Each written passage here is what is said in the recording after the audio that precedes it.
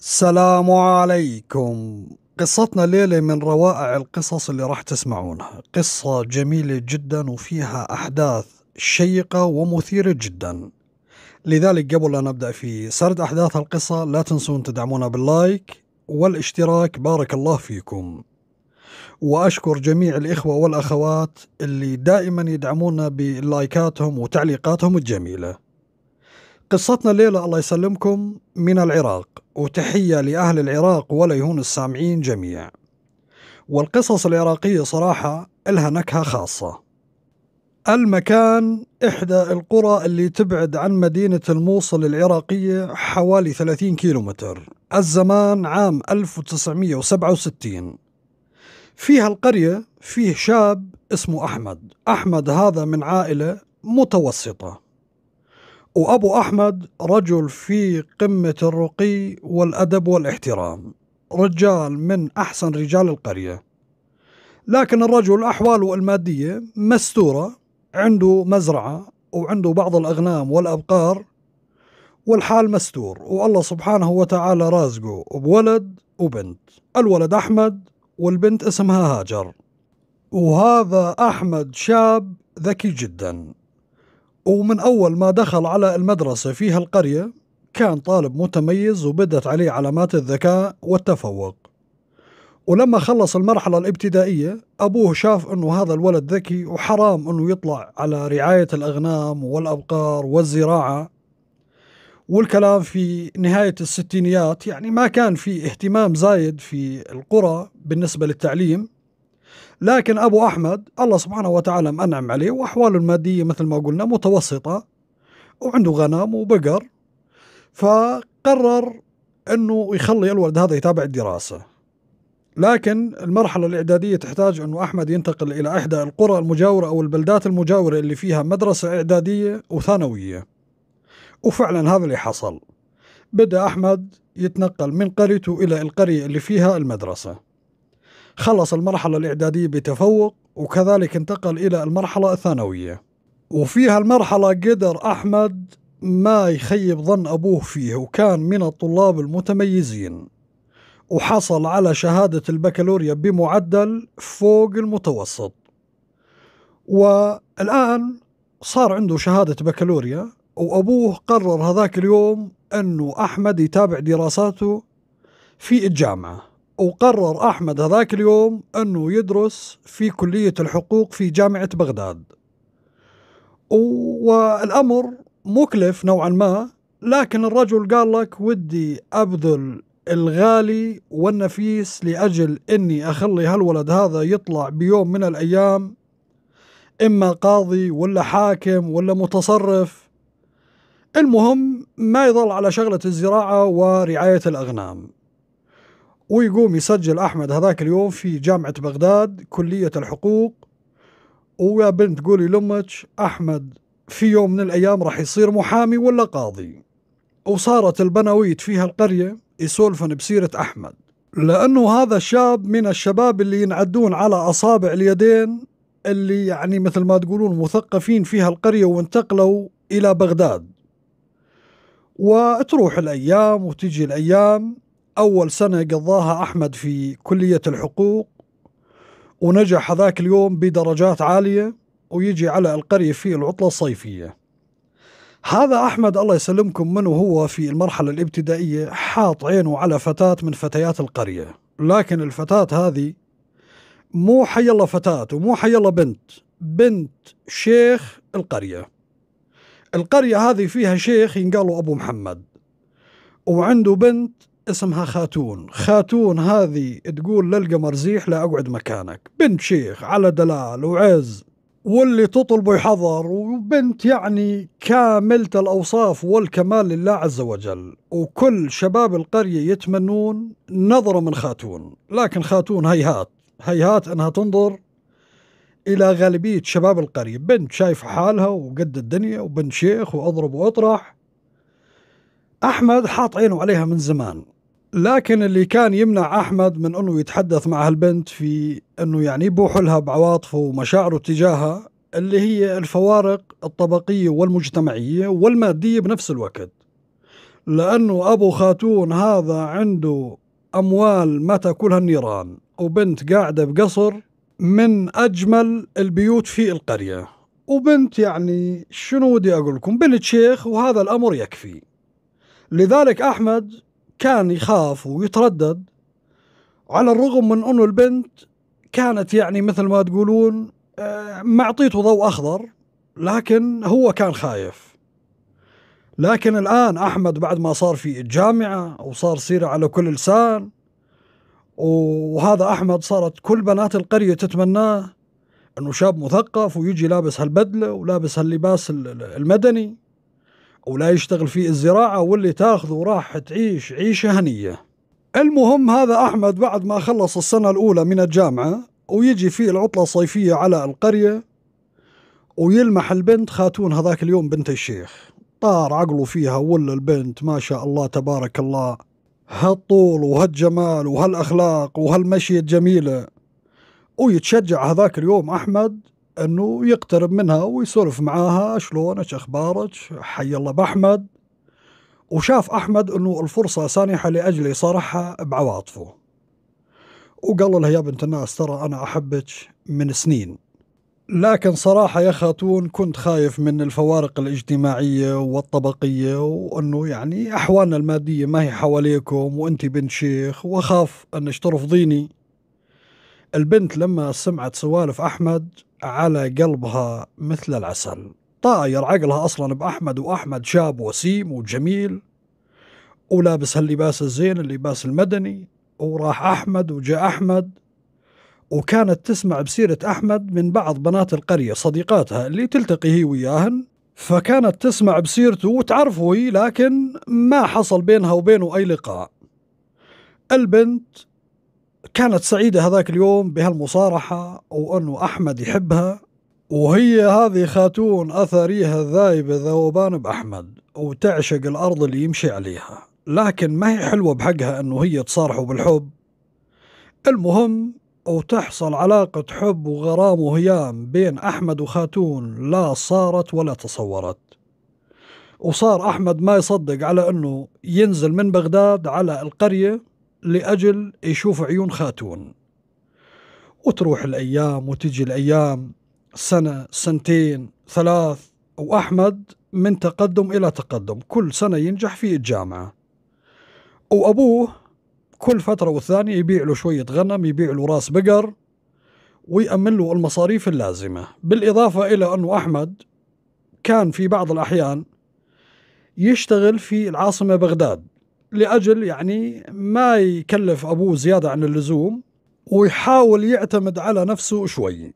المهم بعد ثلاث سنوات من علاقة حب جميلة جدا بين أحمد وخاتون وأحمد ما عنده نية التلاعب على البنت ولا أنه يضحك عليها. الولد نيته شريفة وما عنده نية الخرابيط واللعب أبدا. وهذه بنت الشيخ خاتون من أول ما صارحها أحمد بحبه كثروا الخطابين والبنت صارت تقريبا في بداية العشرينيات وهذه بنت شيخ ومطموع فيها. أبناء الشيوخ يجون يخطبونها وأبناء وجهاء القرية. البنت كانت ترفض كل العرسان اللي يتقدموا لها وهي وحيدة على إخوانها وبنت مدللة وآخر العنقود. فأبوها كان معطيها على كيفها. ولما تصارحوا بعلاقة الحب وأحمد وعدها في الزواج وبعد مرور ثلاث سنوات قالت يا أحمد الخطابين كثروا وصراحة أنا ما عاد أقدر يعني أرفض الشباب اللي يتقدموا لي. مرة متقدم لي طبيب مرة متقدم لي ولد شيخ ولد الشيخ الفلاني ولد مدري منو. المفروض أنك تتلحلح شوي. قالوا لها بشري. شنو المطلوب؟ قالت المطلوب على الأقل يعني قبل لا تخلص الجامعة باقي لك سنة زمان. خلي أبوك يسولف مع أبوي في هالموضوع علشان نلجم الخطابين اللي يجون هذول كل يوم والثاني ولا جاي خطاب. ويقوم أحمد هذاك اليوم يفاتح أبوه في موضوع الزواج. قال والله يا يبا صراحة أنا رايد بنت الشيخ أبو محمد البنت هذه خاتون. قال والله ونعم جماعة يناسبون ومن أحسن ما يكون. ما في مشكلة أبدا لكن أخاف يا ولدي إذا رحت طلبت البنت أخاف أنه جماعة يتعنفون علينا وينظرون لنا نظرة فوقية. قال أبدا يا يبا أنا متفق أنا والبنت والبنت رايدتني وأهم شيء راي البنت. وأبوها أكيد ما راح يرفضك أنت رجال لك سمعتك وإحنا لنا سمعتنا في القرية ليش لحتى يرفضك؟ قال ماشي يا ولدي.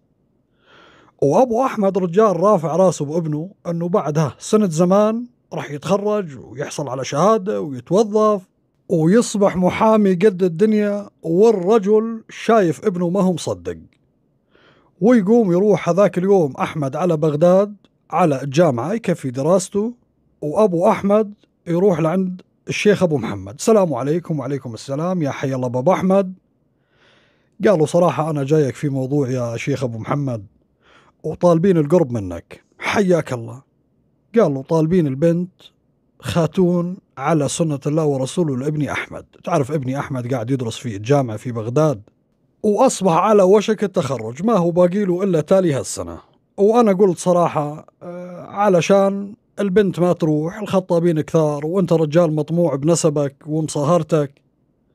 فقلت خليني أسولفك في هالموضوع لو إنه مبكر شوي. يعني نسوي خطبة أو آخذ قول منك. قال ابشر بعزك يا أبو أحمد. وابنك من أحسن شباب القرية. والله لنا شرف. لكن الرأي الأول والأخير يرجع للبنت خاتون. أنا ما أطلع عن رايها قال وأكيد. واصلا هذا اللي تعودنا عليه يا أبو محمد نشاور بناتنا في الزواج وهذه حياة طويلة ما هي سالفة لعبة. ويقوم أبو محمد مباشرة ينادي على خاتون. تعال يا خاتون. خاتون عرفانة السالفة وعندها ابتسامة وخجلانة. قالها يا بنيتي هذا عمك أبو أحمد. طالبش الولد أحمد شو تقولين؟ ترى الجماعة وضعهم كذا وكذا وأنت تعرفين هاجر وتعرفين أحمد وتعرفين وضع العائلة. خاتون هذاك اليوم قلبها راح يطلع من بين ضلوعها على شدة النبض والبنت سعيدة جدا لكن ما تقدر تقول بصراحة إي والله موافقة. لكن معروف عند البنات السكوت علامة الرضا. ألح عليها أبوها قالت يا يبا اللي تشوفه أنت أنا ما عندي مشكلة أبدا. وتخجل وتحط راسها بالأرض وترجع على غرفتها وكانت سعيدة هذاك اليوم أنه خلاص الآن راح ينتشر الخبر وراح الناس تسولف إنه والله أحمد خطب البنت وما عاد يجيها خطابين وما عاد إنه يظل الإحراج هذا عندها. كل يوم وثاني جايها خطاب وترفض الخطابين بدون أي سبب. وأبو محمد وأبو أحمد اتفقوا على إنه بس يخلص أحمد الدراسة ويحصل على الشهادة يتقدم لها بشكل رسمي. يجيب الجاهة اللي تليق بمقام الشيخ أبو محمد وجهاء القرية وشيوخ القرى المجاورة ويخطبون البنت بشكل رسمي ويحصل الزواج.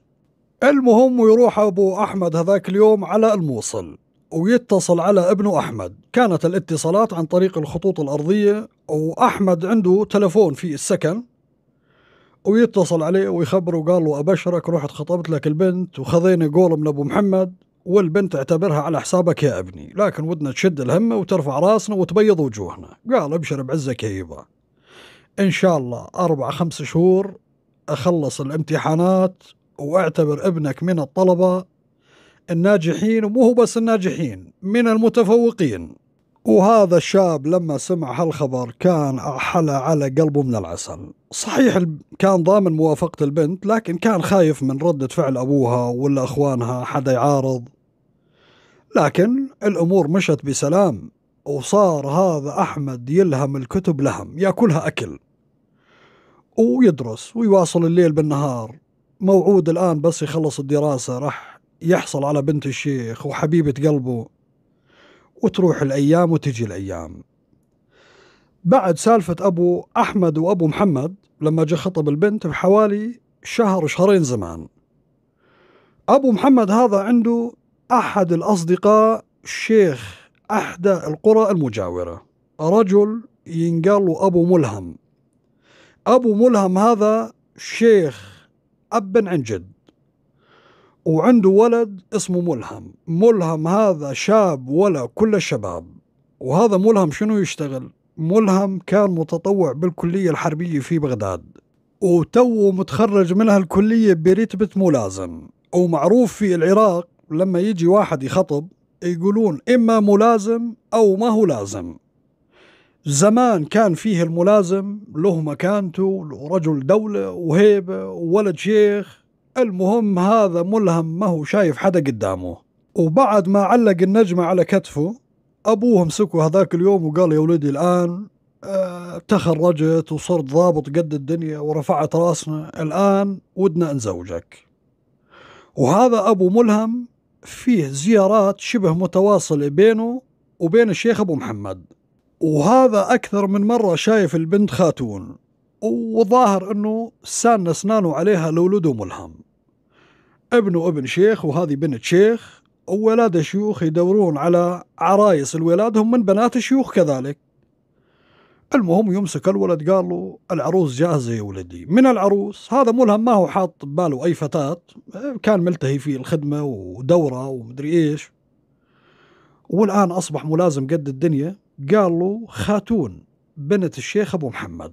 قال له بنت هذه من أجمل بنات القرى المجاورة. ورجل يناسب ورجل معروف. قالوا اللي تشوفوا يبا أنا ما عندي مشكلة. ويقومون يركبون هذاك اليوم أبو ملهم وملهم وإخوانه ومجموعة من ربعه.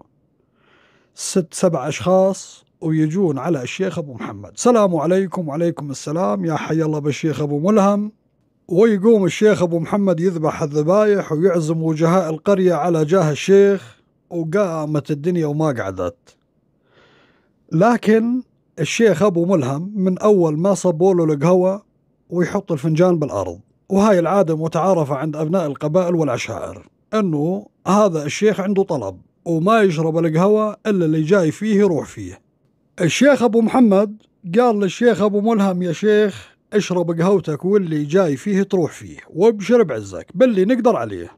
وإن شاء الله ما تطلع من هالديوان يا أبو ملهم إلا اللي جاي فيه تروح فيه والأمور طيبة إن شاء الله. ويشرب أبو ملهم القهوة. وقالوا يا أبو محمد جاي أنا وهالوجوه الطيبة طالبين بنتك خاتون الولدنا الملازم ملهم. قال حياك الله والله ونعم النسب ونعم المصاهرة. وإن شاء الله خير. قول خير إن شاء الله يا أبو ملهم. الرجال أبو محمد ما عاد يعرف شنو بده يقول. أصبح محرج. وقال للرجال اشرب قهوتك. وما هي حلوة الآن يرد الطلب. لكن الأمر ممكن يكون له حل ممكن يختلي أبو ملهم مع أبو محمد ويسولفوا بالموضوع أو ممكن أنه يسولف بنته بهالموضوع بما أنه الآن اختلفت الأمور 180 درجة. هذا ملازم حاط لجمة. وولد الشيخ أبو ملهم وأضرب أطرح. وهذاك طالب جامعة سنة ثالثة رابعة. وله حاصل على وظيفة ولمن يحزنون. المهم تعشت جاه هذاك اليوم الشيخ أبو ملهم والجماعة اللي جايين معاه وشربوا قهوتهم وراحوا في حال سبيلهم. ومنتظرين الرد الآن من أبو محمد. بعد ما راحوا الجماعة وينادي أبو محمد على بنته خاتون. قالها يا بنيتي سالفة كذا وكذا وكذا. وجانا الشيخ أبو ملهم وطلبت لابنه الملازم هذا. إيش رأيك؟ قالت والله يبا يعني صراحة شوفت عينك طلبني أحمد وإحنا يعني وافقنا على الزواج أو على الخطبة. قال لها يا بنيتي الآن الكرة في ملعبك. والآن هذا أحمد صحيح شاب محترم ومؤدب وأخلاق ومن عائلة معروفة وأبوه رجل محترم. لكن يا بنيتي أنا أريد لك تعيشين حياة سعيدة. يمكن أحمد بعد ما يحصل على شهادة يمكن ما يلاقي وظيفة يمكن تتعبين بحياتك. أما هذا ملهم معلق النجمة على كتفه. وسيارات وحشم وخدم وأبوه من يعني رجل عنده أموال ما تأكلها النيران. أبو ملهم يا بنتي عنده فلوس وعقارات قدنا ثلاث أربع مرات. وجماعة معروفين وصراحة أنا صرت محرج من الجماعة. وأتمنى أنك تشاورين حالك في مستقبلك. وبعدين يا بنيتي هذا ملهم في يوم من الأيام أكيد بما أنه ولد الشيخ أبو ملهم راح يكون مدعوم وراح يصير ضابط كبير ممكن يصير في القيادات العليا في العراق. لذلك يا بنيتي شاوري حالك قبل لا تعطيني جواب. الآن لا تسولفين ولا كلمة. وشال حاله وراح قعد بهالديوانية. والبنت هذه خاتون لما سمعت ملازم ومعلق نجمة وقصور وخدم وحشم وإنها راح تنتقل إلى حياة أجمل من الحياة اللي عاشتها عند أبوها. صحيح بنت شيخ وعز و... واللي تطلب يحضر لكن هذا ضابط وراح يصير ضابط كبير وممكن يصير قائد كبير. البنت انفتل عقلها وقالت الحب هذا شنو يساوي؟ الحب ما يطعمي خبز. صحيح يمكن أحمد ما يحصل على وظيفة وراح أعيش حياة سودة معاه وزوجة موظف هذا مضمون. أما هذاك حظك نصيبك. يمكن تصيب ويمكن تخيب. البنت انقلب عقلها هذاك اليوم 180 درجة وتجي على أبوها في اليوم الثاني. ها يا خاتون. قالت اللي تشوفه يبا أنا ما عندي مشكلة. وأنا شاورت نفسي وشفت أنه فعلا كلامك صحيح. وهذا ملهم ولد شيخ وأكيد راح يعاملني معاملة حسنة ويعاملني معاملة بنت الشيوخ وبناء عليه أبو محمد يقوم يبلغ الجماعة بعث لهم مرسال وقالوا لهم حياكم الله. ويقوم الشيخ أبو ملهم أول ما وصل الخبر في اليوم الثاني ويجمع مشايخ المنطقة وجهاء المنطقة ويروحون على أبو محمد ويخطبون البنت بشكل رسمي. وحددوا المهر وحددوا موعد الزواج بعد أسبوع زمان لأنه الولد ماخذ إجازة. ومستعجل على الزواج وأموره جاهزة عنده قصر وعنده غرف نوم وأموره على 24 يعني ما هو ناقص إلا خاتون هذه تجهز نفسها بشوية ملابس والفلوس واجدة وخير الله واجد. ويسمع هذاك اليوم أبو أحمد. أبو أحمد شاف اللمة عند الشيخ أبو محمد لكن قال لك الرجال هذا شيخ ومضياف وديوانه مفتوح للرايح وللجاي. يمكن حلت مشكلة يمكن جاها يمكن يعني ما أخذ وأعطى بالسالفة. لكن في اليوم الثاني انتشر الخبر ويا بنت قولي لأمك خاتون انخطبت. منو اللي خاطب؟ اللي خاطب ملهم ولد الشيخ أبو ملهم. ويجي أبو أحمد لعند أبو محمد. السلام عليكم حي الله أبو محمد. قالوا يا شيخ أبو محمد شنو اللي أسمعه؟ صحيح الكلام؟ شنو الكلام؟ قالوا والله الكلام أنه البنت مخطوبة وخاطبينها ومحددين موعد الزواج. شلون صار يا أبو محمد؟ قالوا والله يا أبو أحمد لا تلومني لوم البنت. خاتون خاتون هي اللي قبلت بابنك ولما شاورناها ويعني يا أبو أحمد تعرف أنا ما صار بيني وبينك كلام رسمي وخطبة رسمية مجرد كلام واتفاق. لكن اللي حصل إنه البنت بدل بدلت رايها وأنا صراحة ما أقدر أغصب بنتي على ابنك. ولك الكرامة ولك المكانة والاحترام والتقدير. قالوا يا أبو محمد أنت لا خليت فيها كرامة ولا خليت فيها احترام ولا تقدير. يا أبو أحمد شنو تقول؟ احفظ لسانك. قال وحافظ لساني لكن الكلام الصح هذا هو. أنا خطبت بنتك وأنت المفروض أنك حتى لو جايك شيخ مشايخ العراق ما تعطيه كلام. وعلى يصير وما يصير المهم ويطلع أبو أحمد هذاك اليوم زعلان ويضرب التل يصيب البطين. ولما جو ولا البنت هاجر خير يا يبا شوف وجهك ما هو زين قال لها ما تدرين البنت مخطوبة وخطبناها ولكن الظاهر الولد ما له نصيب. لكن الآن بس يجي أو يتصل شنو ودي أقول له؟ قالت يبا ساعتها يسر الله. والحمد لله اللي إنها بينت من أولها ما هو من تأليها والظاهر أخوي ما له نصيب بهالبنت والله يبعث له بنت أحسن منها وأجمل منها. الجماعة سكتوا وشنو بدهم يسوون؟ ما باليد حيلة.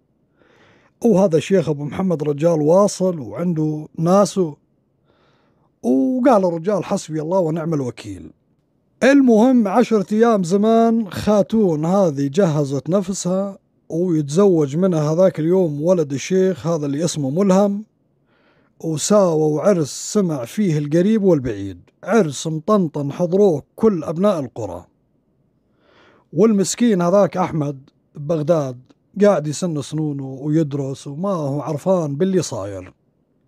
تروح الأيام وتجي الأيام ثلاث أربع شهور خمس شهور ويجي أحمد هذاك اليوم أول ما وصل على البيت ويشوف وجه أمه وأبوه وأخته هذه ما هم مضبوطين الجماعة. يا حي الله بأحمد شاف عندهم سوالف. قال لهم يا جماعة شنو الموضوع؟ قالوا والله ما في شيء إلا كل خير. قال يا جماعة عندكم سوالف. ما هي وجوهكم؟ ما هي اللي تستقبلني كل مرة؟ قالت البنت هاجر يا أخوي البنت خاتون. خير خاتون شنو اللي صار عليها عسى ما شر. قالوا ما صار إلا كل خير. البنت الظاهر مالك نصيب فيها يا أخوي. والبنت انخطبت وتزوجت. أحمد لما سمع البنت انخطبت وتزوجت كان فيه عقل وطار. منو اللي خطبها وشلون صار؟ قالوا والله خطبها ولد الشيخ أبو ملهم والبنت قلبت عليك وهذا اللي جرى وهذا اللي صار. والشاب ما هو مصدق هل هو بحلم هل هو بعلم؟ عهد ووعد بينه وبينها حب ثلاث أربع سنوات وتوها يعني حاصل على الشهادة هذاك اليوم وطالع من العشرة الأوائل على الدفعة. شلون صار؟ قالوا والله يا أخوي هذا اللي صار وهذا اللي جرى. وهاجر قالت يا أخوي أنا رحت عليها هذاك اليوم لما صارت الخطبة وعاتبتها وقالت لي بالحرف الواحد. قالت تبلغين أخوك أحمد لا يعرفني ولا أعرفه ولا يحبني ولا أحبه ولا يعترض طريقي أبدا بيوم من الأيام. أنا بنت انخطبت وديري بالك يعترض طريقي بيوم من الأيام. يا هاجر أنت متأكدة من هالسوالف؟ خاتون تقول قالت قالت وأزود. ويا أخوي وكل الله والظاهر مالك نصيب فيها. وأحمد المسكين هذاك اليوم جاي من سفر طويل من بغداد وتعبان وجوعان لا عاد على باله يأكل ولا ينام ولا يشرب ويدخل في حالة نفسية سيئة. وكره القرية كلياتها.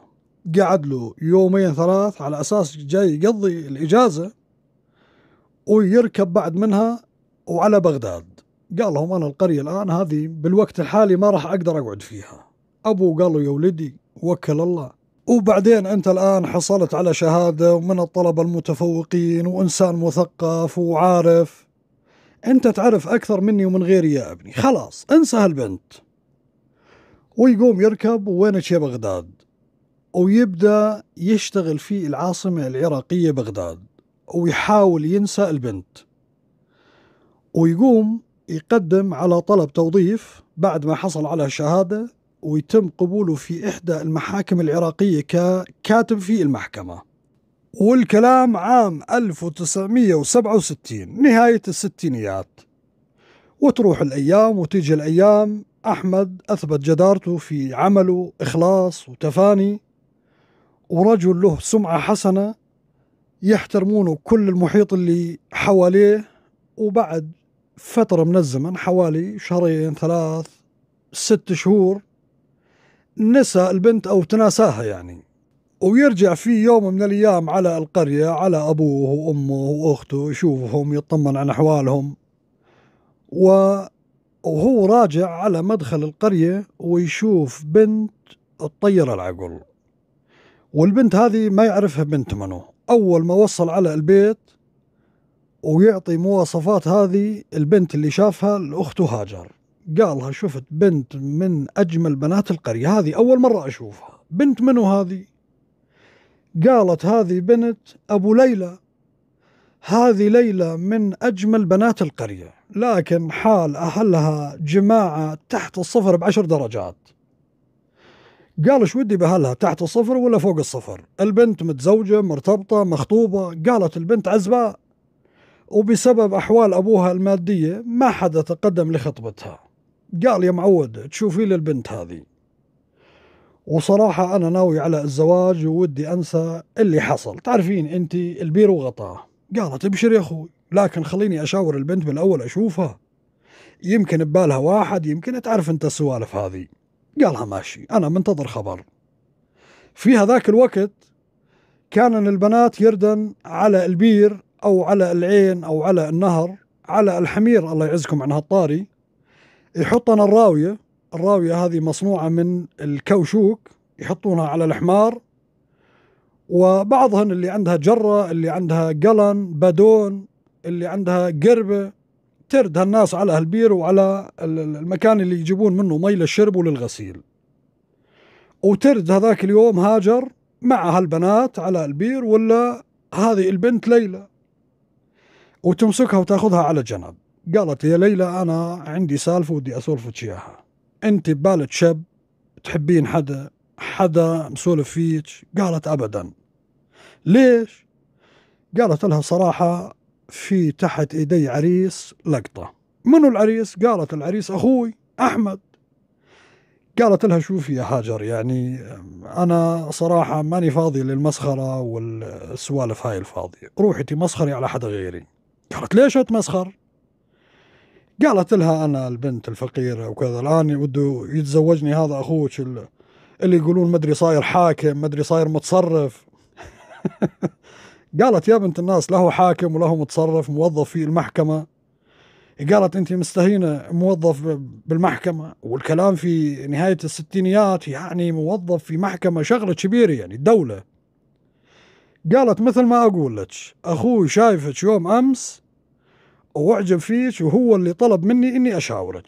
البنت هذه ليلى ما هي مصدقة. إيش معنى يعني ترك كل بنات هالقرية؟ واختارني أنا من بين هالبنات؟ قالت لها والله عاد هذا النصيب. البنت طارت من الفرح هذاك اليوم.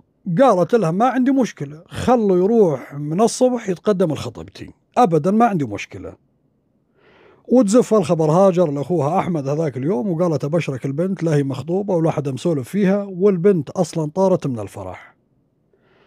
والبنت هذه ليلى بنت كذلك أجمل من بنت الشيخ خاتون. بمراحل عديدة لكن البنت بسبب الفقر وأنه ما تلبس زين وثيابها شبه مشققة أحوالهم المادية تعبانة والمثل يقول لك لبس العود يجود. وهذه بالنسبة لبنت الشيخ أميرة من الأميرات كجمال. المهم أبو أحمد هذاك اليوم كذلك مبسوط أنه ولده وده ينسى البنت هذه خاتون وده يفتح صفحة جديدة ويروح يتقدم لخطبة ليلى من أبوها. أبو ليلى لما جاء عنده أبو أحمد الرجال ما هو عرفان شنو وده يقدم لأبو أحمد. ويا حي الله ويا أهلا وسهلا قالوا خيو ما في داعي لكثر الكلام وطول سيرة. إحنا جايين طالبين القرب وطالبين البنت لولدنا أحمد. شو تقول؟ قالوا والله في البداية يا أبو أحمد لازم أشاور البنت. قالوا أكيد شاورها ويقوم أبو أحمد يفتل على الغرفة الثانية ويمسك البنت. قال يا بنت ترى جايش خطاب؟ والخطاب هذا أحمد موظف المحكمة. قالت يا يبا اللي تشوفه أنت تفصل وأنا ألبس. والبنت أعطت خجلة وابتسامة وحطت راسها بالأرض والأب فهم أنه البنت موافقة ويرجع على أبو أحمد. هاي أبو ليلى قال له أنت تفصل وإحنا نلبس. والبنت هذه اعتبرها بنتك. أنت وجهزوا لها وأنت وحتى مهر ما ودي أنا لإيدي. ولو تطلعها من هالبيت يا أبو أحمد بالثوب اللي لبسته والله ما عندي مشكلة. أهم شيء أنه إحنا مشترين رجل وأحمد ولدك سمعته فيها القرية من أحسن الشباب. أنا مشتري رجل ومناسب جماعة محترمين شروة من يسمع. المهم وينادون الشيخ ويعقدون العقاد هذاك اليوم ويحددون موعد الزواج بعد أسبوع. وينتشر الخبر في القرية ويا بنت قولي لأمك أحمد خطب ليلى بنت أبو ليلى. وبنت أبو ليلى هذه هي أكبر خواتها وعنده أربع خمس بنات وأبناء أصغر منها. والرجال يا الله ملحق حق أكل هالعائلة رجال يشتغل عامل مياوم في هالمزارع. المهم أسبوع زمان جهزت العروسة وأحمد جهز نفسه ويتزوج من ليلى وكان هذاك اليوم أسعد إنسان على وجه الكرة الأرضية. ولما جتها البنت خاتون وشافها هذيك الليلة ما شاء الله تبارك الله أي خاتون؟ لا خاتون ولا من يحزنون. لابسة هاللباس الزين وهاللباس الجديد وعروسة.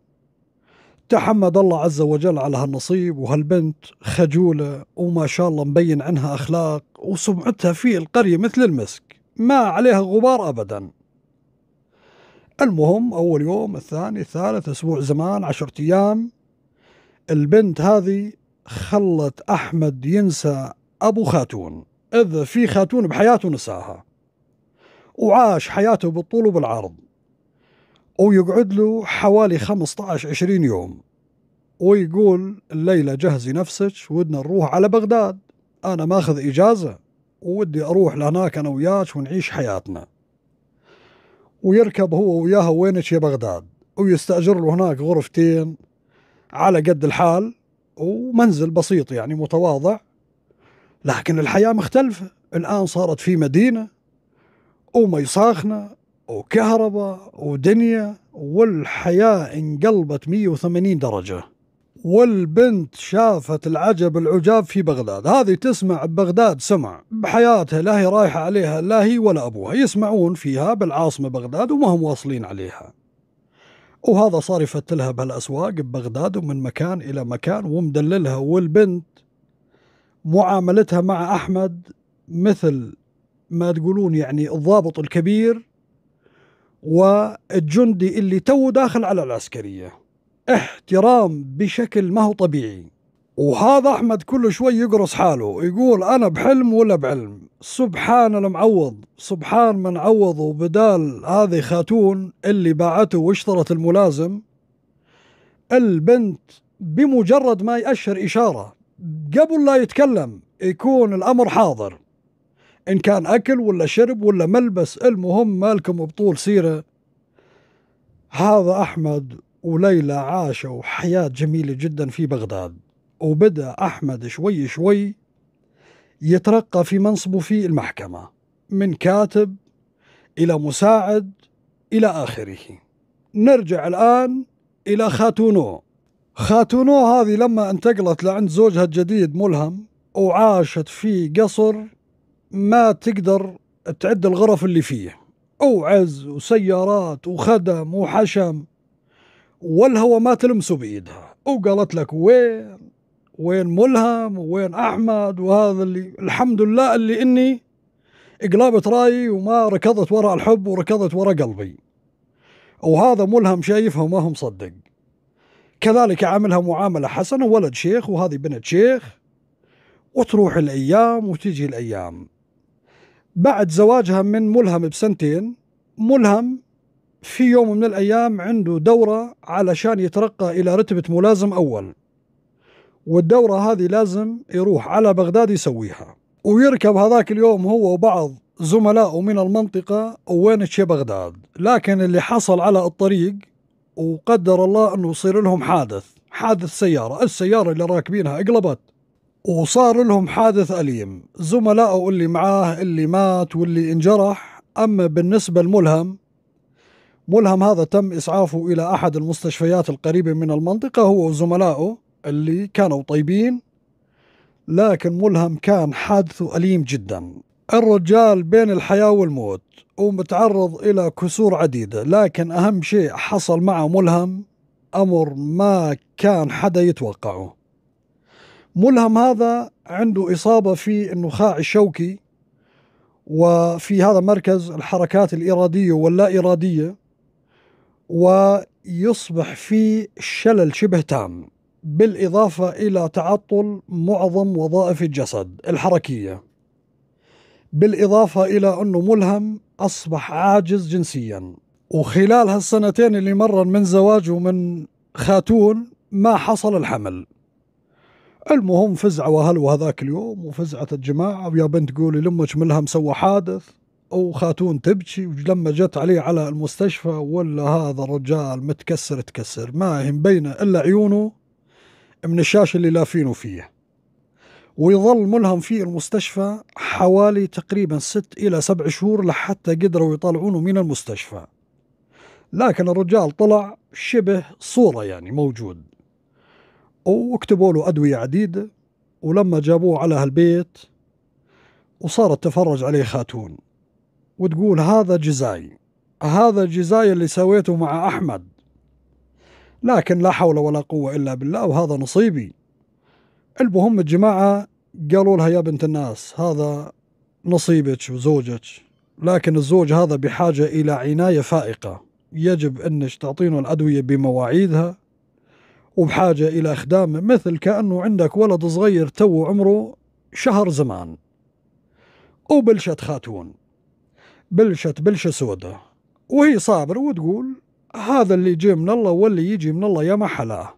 لكن بنفس الوقت عرفانة حالها شنو مسوية. والآن لا عندها ولد ولا عندها بنت وزوجها معاق مجرد صورة موجودة فيها البيت. وبلشت بخدامته وتروح الأيام وتمر الأشهر والسنين. سنة سنتين ثلاث أربعة عشرة 12 سنة. الكلام أصبحنا الآن تقريبا في بداية الثمانينيات 1981 82 خلالها 12 سنة أحمد شنو سوى وشنو صار عليه؟ أحمد بدأ يترقى في المحكمة. لحد ما صار هذاك اليوم رئيس وصار من وجهاء الموصل لأنه انتقل إلى مدينة الموصل. وصار أحمد علاقاته مع الناس الكبار في المجتمع مع المحافظ مع المتصرف مع القضاة الكبار مع الضباط الكبار. رجل صار إذا ينقال اسمه في المجلس الناس تحط إيدها على رؤوسها. وأحواله المادية صارت فوق الريح وصار عنده بدل البيت اللي كان مستأجره في بغداد الآن في الموصل صار عنده قصر سياح نياح وليلى هذه جابت له ثلاث أبناء. وبنوتة آخر العنقود. البنوتة في هذاك الوقت كان عمرها تقريبا أبو أربع خمس سنوات. والبنت هذه أغلى الأبناء وأقربهم عليه لأنها آخر العنقود والبنت الوحيدة على ثلاث أبناء. وأحوال أبوه المادية كذلك صارت فوق الريح وجابوا له عنده على الموصل وأخته هاجر تزوجت كذلك من أحد معارفه وجماعة عايشين حياتهم بأمن وأمان واطمئنان وما عندهم قطعة من الشيطان. أما بالنسبة لخاتون بعد 12 سنة من خدامتها لزوجها وفي يوم من الأيام يتوفى ملهم رحمة الله عليه. إخوان ملهم الكل تزوج اللي بلشان بحاله ولما توفى ملهم قالوا يا بنت الناس تحبين تظلين عندنا في بيت زوجك؟ حياك الله معزز مكرمة تحبين تروحين على أهلك؟ الله معاك. قالت لا والله. بعد ما مات زوجي مالي قعدة بهالبيت. وتقوم ترجع على أهلها ذاك اليوم. لكن لما رجعت على أهلها طلعت منهم بحال ورجعت عليهم بحال. هذا أبوها الشيخ أبو محمد فيه ثارات قديمة بينه وبين أحد المشايخ في إحدى القرى المجاورة والثارات الطول مشاكلها. وفي يوم من الأيام الجماعة اللي لهم ثار عند أبو محمد ويقتحمون منزله ويقتلونه وسط المنزل وولاده اللي انطعن انطعن واللي مات مات وقامت الدنيا وما قعدت. ولما رجعت خاتون كانت الدنيا خربانة وصارت من بيت أخ لبيت أخ والنسوان إخوانها زوجاتهم صارن يعاملنها معاملة سيئة. والفلوس اللي كانت والقصور والسيارات كلها راحت. الجماعة صاروا أحوالهم يعني يلا ماكلين وشاربين. وتسمع بأخبار أحمد. قالوا أحمد صار من وجهاء الموصل وقاضي معروف ورجال كلمته ما تصير اثنين. وتقوم تسأل إنه وين مكان إقامة أحمد في الموصل. قالوا هو ليش في حدا بالموصل ما يعرف منزل القاضي أحمد؟ أحمد بيته نار على علم كل الدنيا تعرف. بس صرتي بالموصل اسألي وين بيت أحمد؟ القاضي أحمد بن فلان الكل يدلش عليه. وتركب هذاك اليوم وتروح على الموصل وتسأل من مكان إلى مكان. قالوا هذاك قصر القاضي أحمد. واصدفت لما جت على البيت ولا هذا القاضي أحمد تو جاي على البيت ومعاه سايق وسيارة وابها ولا البيت اللي طير العقل. والبنت متغيرة ملامحها على الهم والسنين اللي مرت عليها. يعني كان عمرها في هذاك الوقت تقريبا 35 سنة. ولا هذا أحمد سلام عليكم وعليكم السلام. أحمد يقول والله شايف هالزول ماني شايفه. قالت له أنا خاتون. وأنا داخله على الله ثم عليك يا قاضي أحمد. قالها حياك الله يا خاتون. وين وشنو اللي صاير عليك؟ وين صرتي؟ وشنو أخبارك؟ قالت الأخبار عندك ما تدري بالسالفة اللي صارت على أبوي وعلى أخواني. قالها أدري. طبعا السالفة درى فيها البعيد والقريب إنه الشيخ أبو محمد لما انقتل وصارت عليهم مشكلة. قالت أنا داخله على الله ثم عليك يا أحمد ومالي ملجأ بعد الله عز وجل غير أنت. قالها حياك الله باللي أقدر عليه شنو أقدر أساعدك؟ قالت أريد أشتغل خدامة عندك في البيت. قالها أعوذ بالله يا بنت الناس أنت بنت شيخ ورجال معروف. قالت أي شيخ؟ وهي ما ظل فيها لا شيخ ولا ظل فيها شيء. وأنا يا أحمد ما ودي شيء من هالدنيا إلا إني أشتغل خادمة تحت رجليك ورجلين زوجتك ليلى. يا بنت الناس تعوذي من إبليس تعوذي من الشيطان. قالت هذا اللي عندي لا عندي مأوى. وأخواني أحوالهم سيئة المطلوب والمطعون وأحوالهم صعبة وزوجات إخواني ما لي مأوى إلا عندك. الرجال شفق على حالتها وقال حياك الله ودخلها على البيت وعرف ليلى عليها وهذه البنت لما شافت ليلى ولا ليلى ما شاء الله تبارك الله أميرة في قصر وعندها الأبناء ما شاء الله تبارك الله وقال لها هذه البنت الآن خلاص ودها تشتغل عندنا في البيت. ويا معودة وصاتش لا تزعلينها لا تزعجينها لا تعاملينها كخادمة يعني أو كشغالة. قالت ابشر بعزك يا أحمد ما يصير إلا اللي ودك يا وهذه خاتون ما ودها وصا. وليلى هذه زوجة أحمد الله يسلمكم ما تدري بعلاقة الحب والغرام اللي كانت حاصلة بين أحمد وخاتون سابقا. ووصاها فيها وقالت خلاص ما يصير إلا اللي ودك يا والرجال بدأ يمارس حياته بشكل طبيعي وما نظر لخاتون أي نظرة أخرى خلاص البنت أصبحت صفحة من الماضي والآن جته بهيئة أخرى وبحال آخر. وصارت تساعد زوجته في الأعمال المنزلية وتربية الأبناء. تقعد لها شهر وشهرين ثلاث وتتعرف على وحدة من الجارات منزل بجانب منزل القاضي أحمد. وهذا المنزل فيه شغالة كذلك تعرفا على بعضهن. وشنو الأخبار وشنو العلوم ومن سالفة إلى سالفة؟ قالت لها تعرفين هذا القاضي أحمد؟ هذا كان حبيبي قبل وأنا بنت شيخ وأنا كذا وأنا هذا اللي صار علي وهذا اللي جرى. لكن ماني قدران أشوف أحمد أمام عيني يفوت هو ووحدة أخرى على غرفة النوم وشلون؟ قالت لها الحل عندي بسيط. شنو الحل؟ قالت الحل تجيبين سم وتسممين المرأة هذه وتقتلينها وأحمد في هالحالة راح ينحط تحت الأمر الواقع. وأبنائه هذول بحاجة إلى من يرعاهم ويدير باله عليهم ويربيهم. وأنت راح تكونين أجدر الناس بهالشيء. قالت والله فكرة لكن أخاف هذا قاضي هذا مو هو لعبة. محقق ومدري شنو يروح يكتشفون السالفة. قالت الشغلة بسيطة تجيبي لك سم وتسممين المرض بطريقة غير مباشرة بحيث أنها ما ما حد يكتشف الموضوع. ويا دار ما دخلت شر. والفكرة هذه راقت الخاتون وبدأت تفكر شلون وما شلون وتروح تجيب مادة سامة شديدة السمية وفي يوم من الأيام تساوي كاسة عصير لزوجة أحمد ليلى هذه. وقدمت لها كاسة العصير والبنت الصغيرة بنت القاضي أحمد بجانب أمها البنت مباشرة تناولت كاسة العصير من إيد أمها. بنت ما تفهم وحبت أنها تشرب العصير وتنكب نصف كاسة العصير على الأرض. الأم قالت ما عليه شيء وتمسك البنت كاسة العصير مباشرة وتشرب الباقي اللي ظل في الكأس. وخاتون هذه ما تعرف شنو لها تساوي. تلبكت وارتبكت وليلى قالت لها عادي يا بنت الناس سوي لي كاسة عصير ثانية.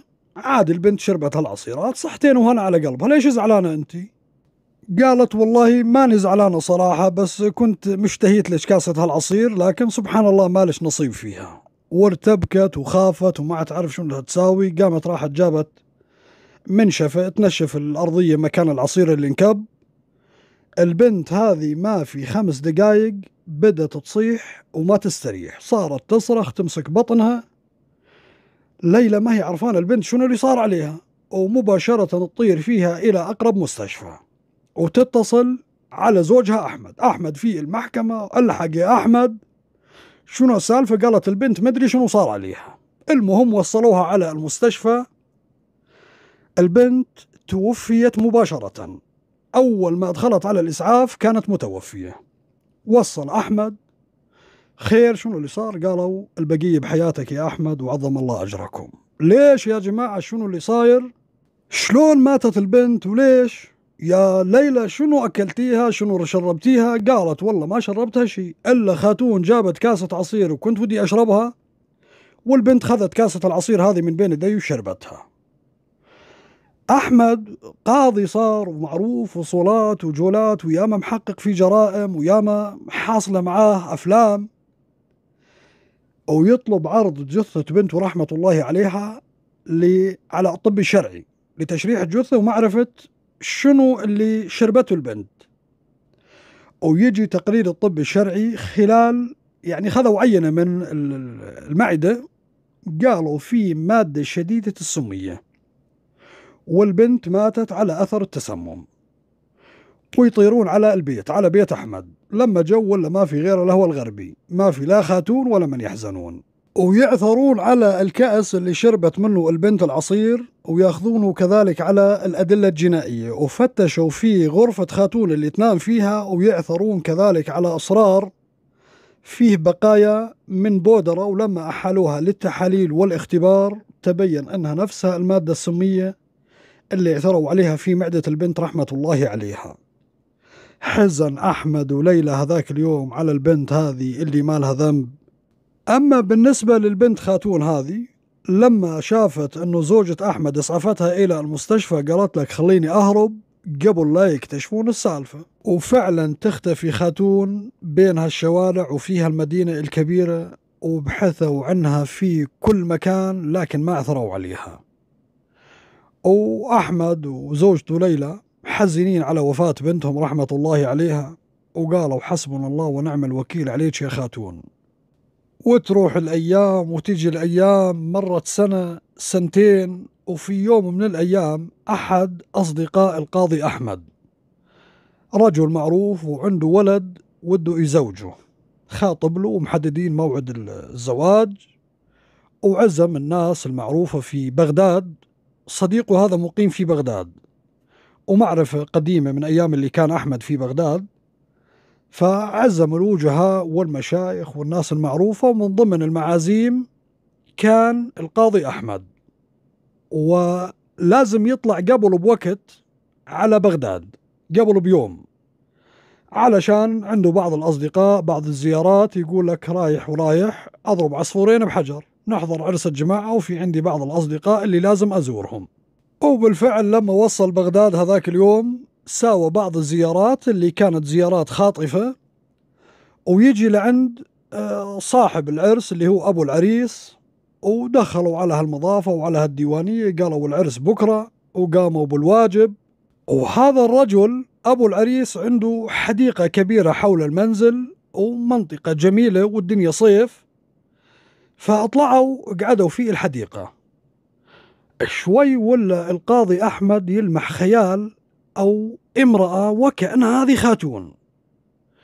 ويقوم يقول للمعذب اللي عازم وقال له لو سمحت ممكن تنادي لهالبنت هاي اللي راحت هذه بنت منو؟ تشتغل عندكم ولا بنتكم؟ قال لا بالله هذه البنت تشتغل عندنا صار لها فترة. شنو اسمها؟ قال اسمها هيفاء. قال لو سمحت إذا ممكن تناديها. خير عسى ما شر. قال له بس خلها تجي شوي وبعدين أقول لك. ويقوم الرجال هذا ينادي على البنت قالوا نادوا هيفاء شوي ولا جاية هيفاء؟ ولا هذه ما هيفاء هذه خاتون. وخاتون أول ما شافت القاضي أحمد ما عاد تعرف شنو بدها تساوي. قالها هذا أنت سبحان الله جبل الجبل ما يتلاقون. بس الدنيا صغيرة وين ودك تروحين؟ خير يا قاضي أحمد شنو السالفة؟ قال ألقوا القبض عليها هذه مباشرة. الرجال هذا ابنائه حواليه ويمسكون البنت حاولت تهرب. قال لهم البنت هذه قتلت بنتي قبل سنتين ثلاث وصار لنا فترة ندور عليها بالحيلة والفتيلة. وبعدين هذه مو اسمها هيفاء هذه اسمها خاتون. ولا خاتون هذه هربانة إلى بغداد. وقالت لك بيني وبينه مسافات ومئات الكيلومترات وشنو ودي يلاقيني ببغداد. وجت تشتغل عند هالجماعة تحت اسم مستعار باسم هيفاء. لكن وين بدها تروح؟ المهم تم إلقاء القبض عليها بعد إخبار رجال الأمن وتم تقديمها للمحاكمة. ووجهوا لها تهمة التخطيط لقتل زوجة القاضي أحمد وقتل البنت. وخاتون اعترفت بما نصب إليها لكن قالت أنا ما نيتي أقتل البنت أنا نيتي أتخلص من زوجة القاضي أحمد لأجل أحصل عليه ويتزوجني. قالوا لها تتزوجك حية رقطة إن شاء الله. بهالطريقة تنحل الأمور. لما أخطبك وهو شاب ما رضيتي فيه. الآن جاية تركضين وراه بعد ما الله سبحانه وتعالى حن عليه وحط بين يديه ورفع من مقامه وقدره. الآن فطنتي عليه؟ قالت والله هذا اللي صار. وأنا عارف نفسي إني غلطانة وندمانة لكن الندم ما ينفع. تندمت من يوم اللي زوجي سوى الحادث وما لحقت أتهنى بحياتي معاه وظليت أخدمه 12 سنة وسولفت لهم السالفة من أولها لآخرها. المهم بناء عليه تم تقديم البنت إلى المحاكمة وبدت محاكمتها بالإضافة إلى أنه تم إلقاء القبض على صديقتها اللي تعرفت عليها. وهي اللي حرضتها أنها تجيب السم وتحطه لزوجة أحمد. وتم تقديمها للمحاكمة الثنتين بعد عدة جلسات القاضي أحمد تنازل عن حقه الشخصي. لكن ظل حق الأم اللي رفعت عليها قضية قضية محاولة قتل وقتل بنتها. وبعد عدة جلسات تم الحكم على خاتون بالسجن لمدة عشرين سنة مع الأعمال الشاقة. أما بالنسبة للبنت اللي حرضتها على هذا العمل تم الحكم عليها بالسجن لمدة سبع سنوات ونص. كذلك مع الأعمال الشاقة وكانت هذه نهاية القصة. القصة فيها الكثير والكثير من العبر اللي نستخلصها. أنتظر رأيكم وتعليقاتكم على هالقصة وفي النهاية لا تنسونا من اللايك والاشتراك. بارك الله فيكم. سبحانك اللهم وبحمدك أشهد أن لا إله إلا أنت أستغفرك وأتوب إليك. دمتم في رعاية الله وحفظه.